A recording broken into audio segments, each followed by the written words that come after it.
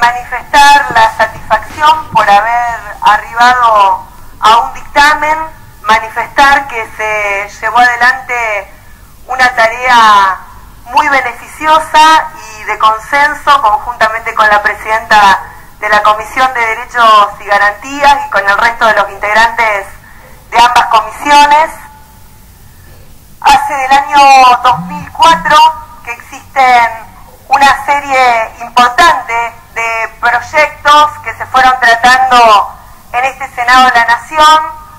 con la necesidad de poder arribar a una ley de talles nacional. Porque por supuesto que sabemos la existencia de leyes provinciales, pero era necesario aunar el esfuerzo y obtener un consenso para regular esta esta cuestión que vienen impulsando distintas organizaciones. Quiero decirle, señor presidente, que desde la Comisión de Industria no desconocemos el momento por el cual está atravesando la industria textil. Tuvimos una serie de instituciones, la propia Cámara Industrial Argentina, la indumentaria, ha planteado lo que ha ocurrido con la industria textil durante estos últimos años, pero no obstante eso hemos arribado a un acuerdo que me parece importante, que tiene que ver con la creación de un sistema único normalizado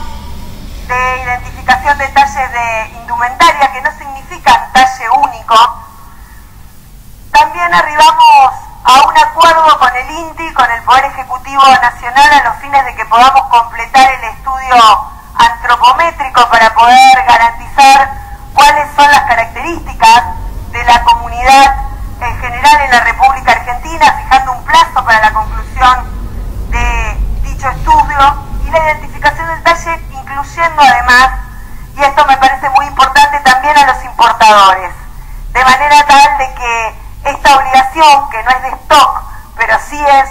de generar los talles como corresponden a través de los estudios realizados, se le impongan también a los importadores.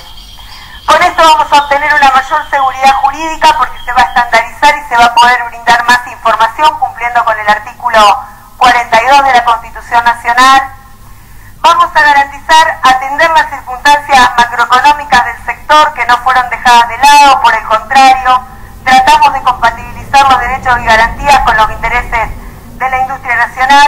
y sentamos las bases para la obtención de una ampliación de derechos. Para concluir, señor presidente,